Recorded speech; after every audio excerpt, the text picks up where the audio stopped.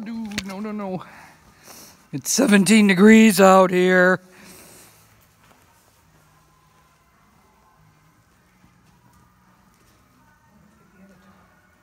Get both